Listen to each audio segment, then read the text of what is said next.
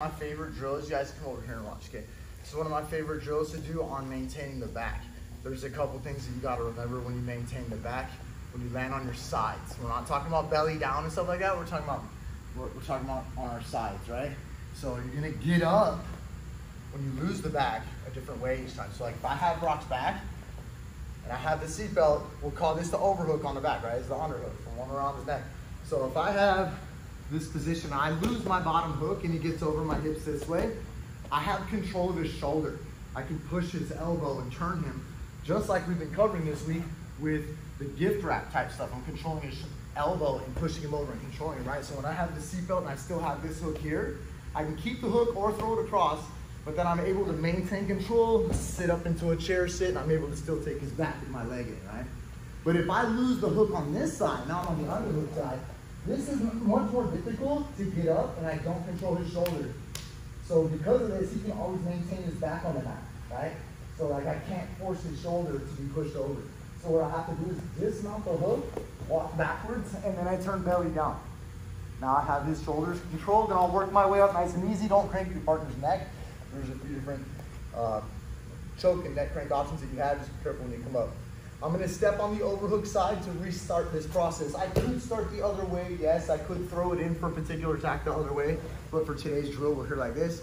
He uses, he kills the bottom hook and moves over. Now, last time I kept this hook, I said I could also throw it across, right? So we'll do like we've been doing this week and come up into technical mount, push him over a little bit more, have my foot all the way across his body, lift him up to the other side. And of course I could body triangle like we've been doing all week, but this stops his movement, right? So I don't want to go to the hooks, right? Again, seatbelt, I fall to the side, he kills the bottom hook. I'm going to maintain this hook, drive into him, lift him up, chair sit him, put in my second hook. He loses the bottom hook. I can't get up this way, so I back step, go flat, walk up into him, and then I can step with my, I step with one foot curl, and the other one steps in. And that slide to that side, and boom, I'm here. So this will be a continuous drill that we do for two minutes. Good to go? Ready, set. We're gonna, we've been working on the gift wrap and variations of it, setting up the body triangle from the mount, right? Those kinds of things. Um, but just as a general concept, we went over this with the kids in the, in the other adults classes. When he's T-Rex from side control and mount. So I'm gonna show you from side control and mount to get the general concept.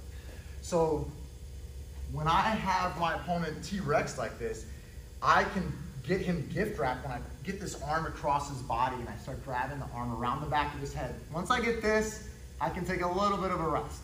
You know, like this is a serious grip, okay? Uh, but I can't always fight with my hands, and it's also good to fight with our belly, okay, and our chest. So I want to get behind his tricep as much as I can and start to learn how to just move my opponent's arm across the body. I can push in on my toes, right? I can get higher in the mount. I can start to turn like this. This is a general fundamental movement that can be good for arm bars, S mount, technical mount, all of that kind of stuff too. But we understand these concepts. If, if Brock stays super tight with his elbows on the side of his body, this means that his wrists are weak in order to take out okay? If he brings his elbows close to the center of his body, okay, this means it's easy for me to push his arm across his body and start getting towards his back. This is our ultimate goal, right? Want to get over here or have the hooks in, right? So it's the same, it's the same general concept, from side control, okay? I can be in side control, get behind his shoulder and his chest and just push in, arms free. Push in hard enough that he turns a little bit, get this position where I step in into technical mount and grab his wrist and start taking, taking his back and all that good stuff, right? So I want you guys to do it from side and from back, okay?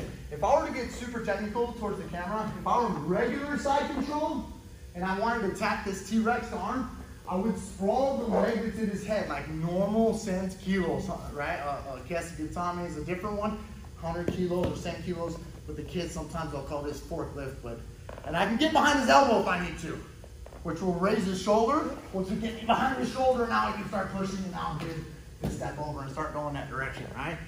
So if I need to really force it from side, again, I'll be in regular side control and I'll sprawl the side out towards his head.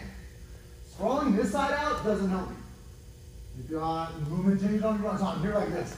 If I can, I'll just use my chest from the beginning. If not, I have the ability right here to give a little bit of a push. My left hand is underneath grabbing his armpit like a deep cross face would be anyways, right? Over here, I go to this, left hand is now in his armpit. If I needed to, so I could lift with my left hand and even help chair sit him with my left hand. So that grip is there also from the beginning, right? It's hard to explain all that in the video. Uh, 180 for me, Brock? Just so that the 180 for me, there you go. So the concept is here.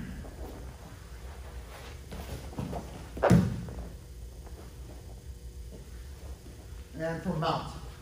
So you guys will go two times a piece. Not two times a piece, but two in a row. Side control mount, side control mount. Sometimes I'm here like this, and I gotta use my belly. And I have to use my hands on my belly. Sometimes I can just use my belly. But I don't want him down there. I like it cross. Look how I can put his hand over there with my belly. Or you saw what happened a lot from side control. Brock went that planting to stop that downward movement, which gives me his wrist. And I'm already here, right? So I want to push to the point where I can force the gift wrap in one way or the other. Either my belly puts his arm all the way around or he plants it. Make sense? General concept, push him over. Try to use your hands the least amount as possible. In the beginning, it's gonna be good if the training partner has their elbows here. This will make it a little easier. Like I said, when they get too down like this, I wouldn't do that. I would concentrate on moving the wrists out somehow, you know? So like, we're here like this, this guy's super T-Rex up. Good to go? One person, two minute drills. Ready, set. Once we lose the back, we have a few different options, okay? So when I have the seatbelt, I'm obviously gonna be on one side or the other when I have his back. When I'm on this side, I have control of his shoulder, so I'm able to get up and push into his shoulder, right? So like if I were to lose this, I could always easily chair sit and get up behind him because I can push his shoulder back forward. When I don't have that, when my seatbelt, when I land on the other side, and I land like this, well now I don't have a shoulder to, to go into, right? There's a hand track system, don't get me wrong. I'm just talking about a uh, option if we lose this position on this side, okay? So a few seconds ago, we were coming out to north-south, and then we were gonna belly down and start to come up and, and get the uh, back again, right? So you have the options of coming up like this. But if I have my hand that can reach his shoulder, and then cable grip, so then my elbow's hidden behind his back, I'll go down nice and slow. The whole move is dependent on my ear touching his ear. If I'm like this, he doesn't get choked. So I have to keep him folded here. So I got the seatbelt. I feel like the opportunity is here. I can cover it with my hand. I get the short choke. This elbow's down his spine, so he can't grab it. I start going flat back, and get choked right there. That make sense? Okay. So let's turn a little bit.